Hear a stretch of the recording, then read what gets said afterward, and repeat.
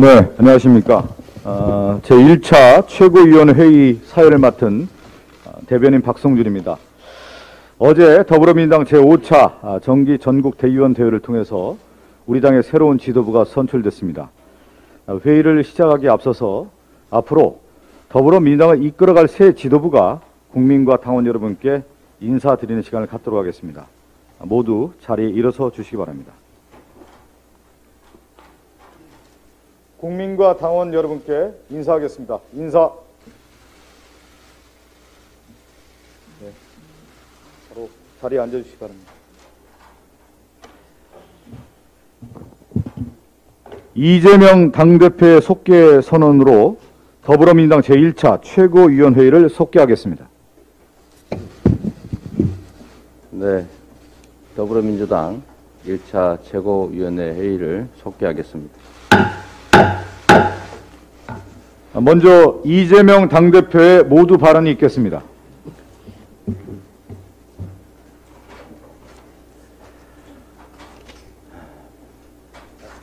어서 볼까 할까요?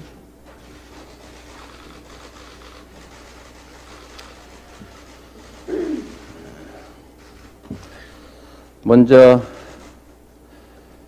압도적인 지지로 어, 당 대표로 선출해 주신 당원 그리고 국민 여러분께 어, 깊이 감사 말씀드리면서 어, 큰 책임감을 느낀다 이 말씀을 꼭 드리고 싶습니다. 어, 그동안에 어, 우리 비대위를 이끌어 주시고 또 당을 안정시키는 데 큰 역할을 해주신 우상호 비대위원장님과 이 비대위원 여러분 그리고 각급 당직자 여러분들께 예, 감사드립니다. 어, 우리 국민과 당원들의 뜻은 통합하고 단결해서 국민과 국가의 미래를 또 국민의 삶을 책임지라 이런 뜻으로 이해합니다. 아, 그래서 어, 첫 번째 에, 지시사항으로 어, 당대표 산하에 민생경제위기 관련 대책기구 또 민주주의 위기 대책기구 설치를 지시했습니다. 아, 정치의 존재 이유는 국민의 삶을 책임지는 것입니다. 국가의 미래를 개척하는 것입니다. 아, 그 중심에 정당이 있고 아, 그 정당은 국민의 사랑을 받기 위해서라도 또 본연의 책임을 다하기 위해서라도 민생 또 경제 안보 질서 아, 이런 것들에 대해서 책임지고 어, 또 나아가서는 더 나은 상황을 만들 수 있도록 역할을 해야 된다고 생각합니다. 우리 민주당의 갈 길은 실용적 민생 개혁의 길이라고 생각합니다. 우리가 이상도 좋지만 현실도 중요하고 또 현실과 이상을 조화해야 되기 때문에 방향은 잃지 않되 철저히 실사구시적이어야 한다라고 생각합니다. 민생과 개혁은 다른 말이 아닙니다. 개혁은 민생을 위한 것입니다. 민생을 위한 개혁을 실용적으로 해 나가겠다. 거기에 가장 중점을 두겠다. 말씀을 드립니다. 어, 물가, 환율, 그리고 금리 등등을 포함한 어, 이 어려운 경제 현실, 민생의 위기 앞에서 우리 민생의 후퇴를 막고 민생의 개선을 위해서 총력을 다하겠다. 이 말씀을 다시 한번 드립니다. 아, 이를 위해서 윤석열 대통령께 다시 한번 공식적으로 영수회담을 요청드립니다. 아, 민생 앞에 여야와 정, 정쟁이 있을 수 있겠습니까? 아, 더 나은 삶을 위해서라도 현재 이 민생과 경제의 위기를 극복하기 위해서라도 한반도의 이 불안과 대결의 기운을 완화하고 어, 평화를 유지하기 위해서라도 여야가 초당적으로 머리를 맞대고 어, 의논을 해야 된다고 생각합니다. 말씀드렸던 것처럼 저는 윤석열 정부와 또 윤석열 대통령께서 성공하길 바랍니다. 그 성공이라는 것이 에, 결국은 우리 국민들의 더 나은 삶을 보장하는 것이기 때문이죠. 협력할 것은 음, 철저하게 먼저 나서서라도 협력하겠습니다. 그러나 민주주의와 민생을 위협하는 퇴행과 독주에 대해서는 강력하게 맞서 싸울 수밖에 없다는 점을 말씀드립니다. 그럴 일이 없기를 바랍니다. 가능하면 적절한 견제 속에서 어, 협력하고 우리 국민 우선 민생 제1이라는 원칙 아래 협력할 길을 찾아내 주시기를 다시 한번 당부드립니다. 우리 새 지도부는 김대중, 노무현, 문재인 세 분 대통령님의 민주당을 계승 그리고 발전시키고 그리고 거기에 더해서 실력과 예, 실적으로 평가받는 완전히 새로운 민주당으로 거듭나도록 노력하겠습니다. 정쟁 정치, 또 반사 이익 정치, 차악 선택 정치와 완전히 결별하겠다. 잘하기 경쟁으로 국민의 더 나은 삶을 반드시 책임지겠다는 말씀을 드립니다. 고맙습니다. 네, 다음으로 정청래 최고위원의 발언이 있겠습니다. 예, 승원해 주신 음, 당원과 국민 지지자분들께 감사드립니다. 어, 민주당의 새 시대 새 아침이 밝았습니다. 완전히 새로운 민주당으로 거듭나겠습니다. 나라가 많이 어렵습니다. 이게 나라냐 이런 얘기가 곳곳에 들리고 있습니다. 민주당이 바로 서야 나라가 바로 섭니다. 어, 민주당이 바로 서기 위해서는 당원이 당을 자부심을 느끼는 정당, 당원이 주인인 정당을 만들어야 합니다. 그래야 강한 민주당이 될 수 있고 강한 민주당이어야 정권을 되찾아 올 수 있습니다. 강한 민주당을 위해서 내부 혁신과 내부 단결 그리고 어, 당내 민주주의를 위해서 앞으로 헌신하겠습니다. 어, 이번 전당대회를 통해서 어, 당원과 지지자들은 분명히 명령하고 있습니다. 내부 총질 중지, 총구는 밖으로 이재명 당대표를 중심으로 똘똘 뭉쳐라. 이것이 어, 당원의 지상 명령이라 생각합니다. 이 명령을 우리 지도부는 어, 충분히 따라야 할 것입니다. 내부 혁신하지 않고 강한 민주당이 될 수 없습니다. 아, 개혁은 자전거 페달과 같아서 어, 자전거 페달을 밟지 않으면 자전거가 쓰러지듯이 민주당도 어제도 개혁하고 오늘도 개혁하고 모레도 개혁해야 민주당이 앞으로 나갈 것입니다. 당을 바꾸지 않고 정권을 바꿀 수 없습니다. 이 무도한 그리고 무능한 윤석열 정권의 폭주를 막는 세력은 우리 민주개혁진영의 맏정으로서 민주당이 마땅히 감당해야 될 소임입니다. 이제 새로운 지도부가 어, 형성이 됐으니 어, 우리 대우를 전열을 정비해서 어, 정권을 재탈환하는 그런 기지로서 민주당을 더 강하고 단련시켜야 할 것입니다. 어, 당은 승리를 위한 전진 기지여야 합니다.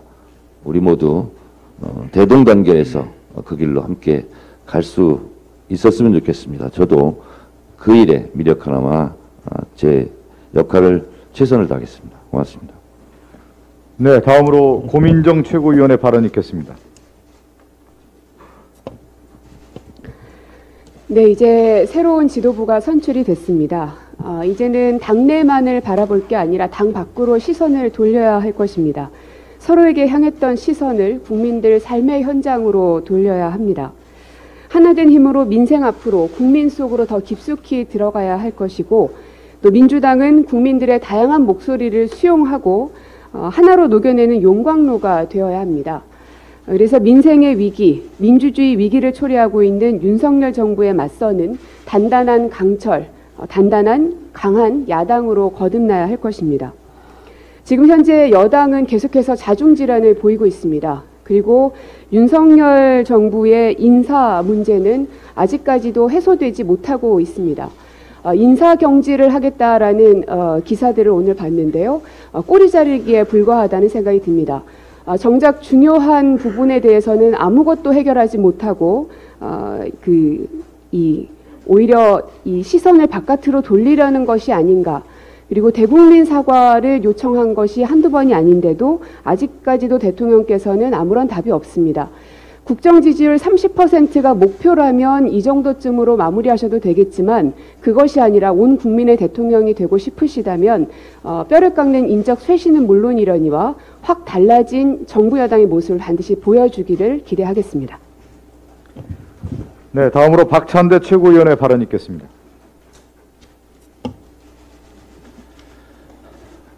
전대가 무사히 끝나도록 많은 관심과 참여를 해주신 국민 여러분과 당원 동지 여러분께 감사 인사를 드립니다. 특히 우상호 비대위원장, 도종환 선거관리위원장을 비롯한 당직자 여러분께도 감사 인사를 드립니다. 국가와 당이 어려운 위기에 빠져 있는 이 시기에 지도부의 일원이 되어서 막대한 책임감을 느낍니다. 우리가 막다들인 현실은 그리 녹록하지 않습니다. 아마추어 정권의 실정과 삼고의 파고가 심상치 않습니다. 국제적으로도 대한민국의 위상이 추락하, 추락하고 방역은 비상입니다. 오죽하면 영국 이코노미스트 어, 윤 대통령은 기본부터 배우라고 일침하고 있지 않습니까? 윤석열 정권의 무능과 이것을 정치 수사로 덮으려는 의도가 지금 노골화되고 있습니다. 본부장 관련 비리 의혹은 전광석화로 불기소 무혐의 처분하고 있습니다. 시민단체가 고발한 김건희 여사의 7시간 녹취와 관련해서 경찰 선거법과 정치자금법 위반, 업무상 횡령 혐의에 대해서 불송치하고 있습니다. 온 국민이 김건희 여사가 기자에게 대가성이 의심되고 있는 105만 원을 줬고 같이 일하면 1억 원을 주겠다 하는 발언을 기억하고 있습니다. 분명한 매수 행위입니다. 경찰 또한 김건희 여사와 모친이 성남시 땅을 사들이는 과정에서 통장 잔고 증명서 위조 작업을 공모했다는 의혹도 각하 처분을 받았습니다. 온 국민이 당하는 김건희 여사의 허위 경력과 학력 의혹도 불송치된다는 전망이 우세하고 있습니다. 많은 피해자를 낳고 있는 주가 조작 사건도 아직도 깜깜 무소식입니다. 그런데 대통령 취임 이후 김건희 여사 관련 새로운 의혹이 계속 드러나고 있습니다. 검찰과 경찰이 계속 김건희 여사에 대해서 봐주기 수사를 한다면 민주당은 국민의 뜻에 따라 법에 따라 특검을 추진하겠습니다. 윤석열 대통령 배우자 김건희 주가 조작, 허위 경력 사건 등의 진상 규명을 위한 특별검사 임명 등에 관한 법률안이 발의되었습니다. 검찰과 경찰이 외면한다면 국회는 특검의 시계를 찰 수밖에 없습니다. 반면 문재인 정부 인사, 야당 인사에 대해서는 먼지털이식 수사가 진행되고 있습니다. 전당대회에서 만, 만난 많은 당원과 국민들의 울분은 뻔뻔한 윤 정권을 그대로 두면 피와 땀으로 이룩한 대한민국의 민주주의 80년 5월대로 후퇴할 수 있다는 우려도 큽니다. 민주화의 주역인 민주당이 분연히 단결하고 일어나야 될 것입니다. 윤석열 정권의 폭정에 민주당이 단호하게 맞서겠습니다. 한편 민주당의 민주성을 회복하고 소통력을 강화하겠습니다. 전대를 통해 당심과 여심 사이의 괴리가 있다는 것을 확인했습니다. 전대 때 매일 세대 교체, 사법 리스크, 사당화 등이 언론에 대소특필 되었으나 이재명 대표는 77.77%라는 압도적인 지지를 받아서 당심이 아, 왜곡되지 않았다라는 것을 보여주었습니다. 어, 당내 중요 의사결정에 당원의 직접적인 참여를 확대해야 하고 소통하는 민주당을 만들겠습니다. 정당 개혁을 넘어 정치 개혁을 실현해 아무도 억울한 사람이 없는 공정한 세상, 대동 세상을 만드는 초석을 만들겠습니다. 당원을 믿고 국민과 함께 국민을 믿고 해내겠습니다. 이상입니다. 네, 다음으로 서영교 최고위원의 발언 있겠습니다. 네, 이번 전당대회를 통해서 당원 여러분과 국민 여러분들의 열망을 알았습니다. 더불어민주당은 좀 더 야무지게 강한 민주당이 되어라. 그리고 유능하고 실력 있는 민주당이 되어서 국민의 민생을 챙겨라 라고 하는 열망을 확인했습니다. 이재명 당대표와 함께 저희 이번에 선출된 최고위원들 강한 민주당 그리고 유능한 민주당을 통해 국민을 내 민생 문제를 해결하는 데 앞장서도록 하겠습니다. 저는 전당대회 과정 속에서 국민을 속 시원하게 해드리겠다. 핵사이다가 되겠다. 이렇게 말씀드렸습니다. 국민들께서 이야기하고 계십니다. 박근혜 정부의 때는 최순실이라고 하는 비선 실세가 국정을 농단했다. 그런데 이제 윤석열 정권에서는 이상민, 한동훈, 그리고 윤핵관, 그리고 김건희, 김핵관이 우리나라의 헌법과 법률, 그리고 국민을 조롱하고 있다. 더 진화한 국정농단이다. 이에 대해서는 확실하게 심판해 달라 이렇게 요구하고 있습니다. 우리 더불어민주당 더 강해지겠습니다. 그리고 하나가 되겠습니다. 그래서 국민을 지키고 올바로 선 대한민국 만들어내겠습니다. 과정 속에서 이러한 요구가 있었습니다.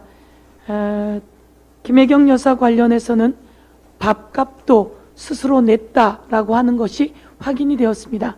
그 과정에서 7만 8천 원 등 여러 가지 이야기가 있습니다.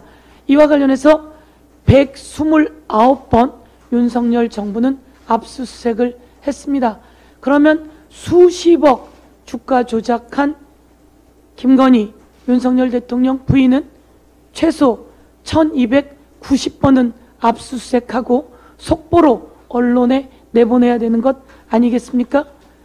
검찰총장 출신이었던 대통령, 대통령의 부인이라고 한 번도 압수수색하지 않고 한 번도 소환조사하지 않고 이런 세상이 공정한 세상입니까?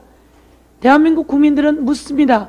공정한 세상 왜 윤석열과 윤핵관 그리고 김건희와 김핵관 그리고 국민의 힘에게만 유리하게 돌아가는가라고 묻습니다. 이제 다시 한번 강력히 요구합니다. 아, 윤석열 대통령 하에 정치 검찰로는 공정한 수사가 이루어지지 못합니다. 특별 검사를 통해서 중립적이고 공정한 수사 이뤄내야 된다라고 국민들은 요구하고 있습니다. 이제 특별검사법이 발의되었습니다. 차곡차곡 쌓아 나가서 국민들의 지지를 받는 특별검사 진행할 수 있도록 해 나가겠습니다. 그리고 국정조사가 어, 이루어지고 있습니다. 대통령실 사적 채용 그리고 대통령실 어, 리모델링 특혜 이권 개입 등에 관한 국정조사 확실하게 이루어질 수 있도록 국민과 함께하겠다 이렇게 말씀드리겠습니다. 감사합니다. 네, 마지막으로 장경태 최고위원의 발언이 있겠습니다. 당원 동지와 국민께 진심으로 감사드립니다. 이번 전대는 국민과 당원께서 민주당이 혁신과 개혁으로 나아가야만 나아가만 나아가야만 민주당의 미래와 승리가 있다는 의미이자 명령이었다고 생각합니다. 당원과 소통을 강화하고 메타 정당, OTT 플랫폼 도입 등 인재를 육성하는 등 오직 혁신의 길로 가겠습니다. 민생 위기 속에서 무한 책임을 져야 하는 집권 여당은 내부 총질하느라 국민의 안전과 민생은 뒷전으로 미루고 있습니다. 무능하게 책임을 무한 방기하면서 국민의 원성은 무시하고 대통령의 체리 따봉만 받기 위해 혈안입니다. 전례 없는 시행령 국가를 만들고 있는 윤석열 정부의 장관들은 더 가관입니다. 시행령 통제법 추진 등으로 한동훈, 이상민 장관의 초법적인 폭주를 막아내겠습니다. 김건희 특검법이 필요합니다. 한남동 대통령 관저공사 과정에서 김건희 여사 관련 업체의 특혜 의혹에 이어 또 이 업체가 무면허로 전기공사를 수주했다는 수시간 전 언론 보도가 있었습니다. 주가 조작, 허위 경력 등 검찰, 경찰은 제대, 제대로 된 수사를 하시는지 지켜보겠습니다. 이재명 당대표님과 박홍근 원내대표님 그리고 최고위원분들과 함께 민심을 받들어 단합과 혁신으로 국민께 신뢰받는 수권 정당으로 거듭날 수 있도록 노력하겠습니다. 감사합니다. 네, 이상 발언을 모두 마치고요. 회의를 비공개로 전환하겠습니다. 언론인 여러분의 협조를 부탁드리겠습니다.